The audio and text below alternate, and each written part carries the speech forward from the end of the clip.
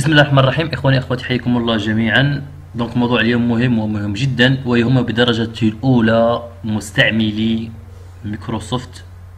Windows 7 donc ويهم بالدرجة الأولى يعني مستعملي لو سيستم ديكسبلوطاسيون مي ويندوز 7 دونك فالخبر يعني من مصدره يعني من الشركة هو عبارة عن رسالة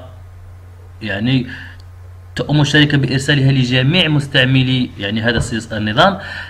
تخبر فيه على أن الشركة سوف تتوقف نهائيا عن يعني حماية هذا النظام سواء من حيث يعني التحديثات أو من حيث لي سيبور تكنيك يعني آه، ديال الشركة ابتداء من 14 يناير 2020 وبذلك فالشركة تشعر هذا النظام سوف لن يعني يكون يعني تحت نظام يعني حماية الشركة وبالتالي فهي لا تتحمل أي مسؤولية لما قد يحدث لهذا النظام من يعني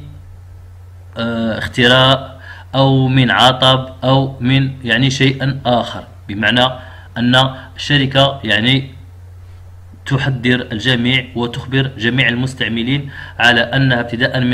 من 14 يناير 2020 سوف تتخلى بشكل نهائي عن حماية هذا النظام سواء من ناحية التحديثات أو من ناحية لسيبور تكنيك كما أنها توجه رسالة إلى جميع مستعملي النظام على أنه يجب تخزين جميع المعطيات